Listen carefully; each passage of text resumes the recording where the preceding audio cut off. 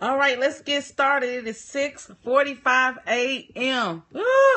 Getting ready to start this work day. So it is very um, fitting for us to talk about the topic of the working mom curse. Hey Willie Mae, I knew that was you when I saw the Kenya. So um, this morning is very fitting to talk about the working mom curse. We're um, on our way to work, or we are just starting our work day today, and I want to talk about if it's real or not. Is it real? Is the working mother curse real or not? But before we get started, I want to talk about um, do a moment of silence for a recent loss um, I had. It's been with me for the last two weeks, and um, I just recently lost it this morning, and it is this braid.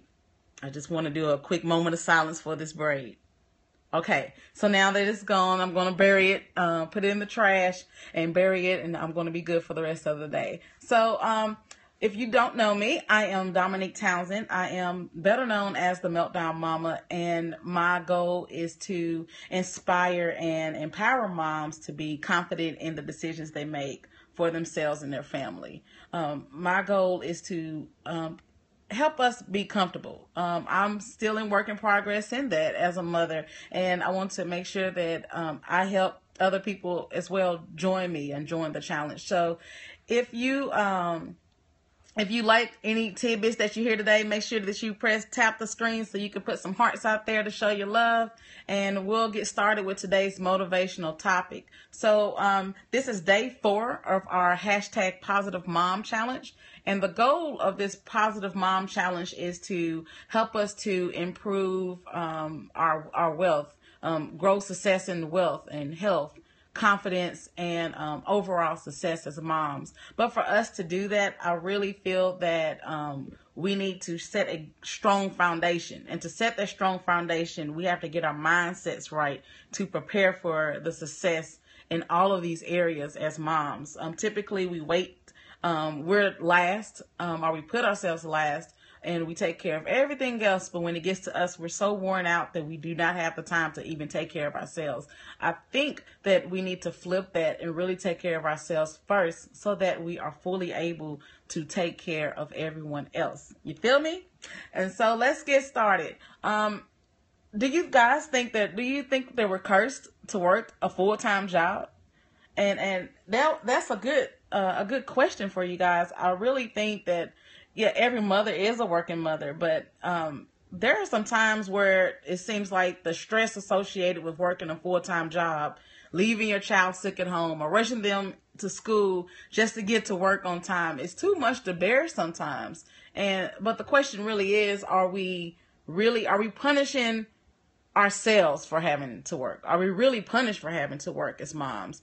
And um, if we choose to work as a mom, uh, be a full time working mother, or is it a guilt that we put up on ourselves due to the pressures of media?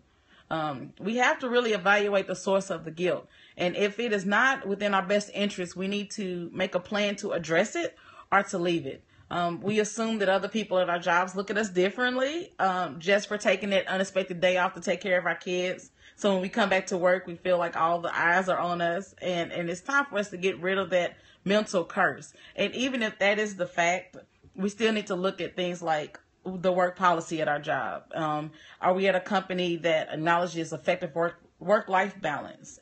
And also, are we exercising and scheduling time for us to relax? Typically when we um, integrate exercise and, and good eating into our routine it typically brings back it, it decreases stress in other areas of, of our um, life. So we need to make sure we take care of ourselves but sometimes the guilt that we feel is, is something that we put up on ourselves.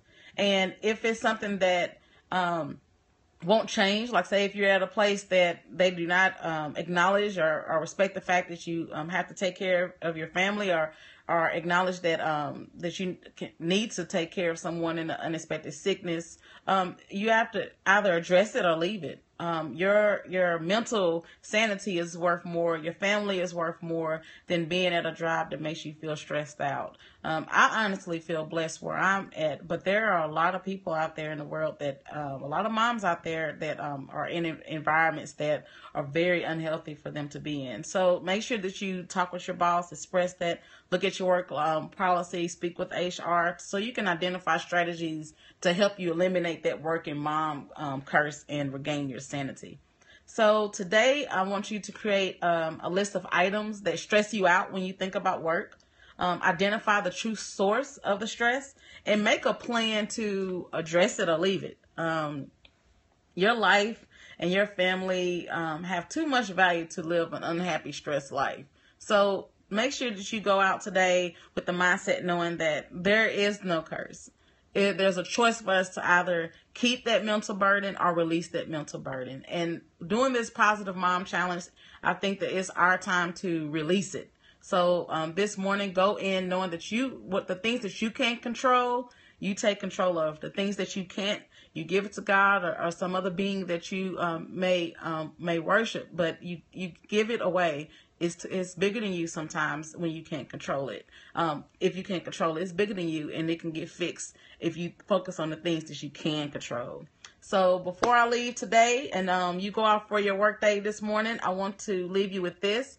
Behind the smile of a mother um, lies a story, a story of pain, a story of joy, a story of um, happiness, and a story of sadness. But it's up to us as mothers to help support each other and be there for each other um, in our times and needs. So make sure that you go out there with a positive outlook. Hey, Megan, go out there with a positive outlook.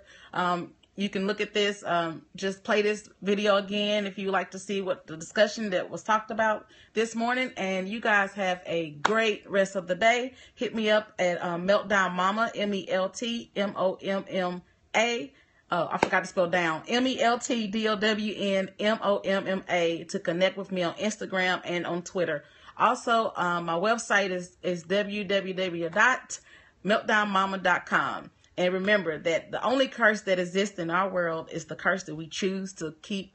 Um, is cho- the one the choice that we choose to keep and then have that mental burden. So you go out and release it and do what you can, address it or leave it because your worth is much more than worry.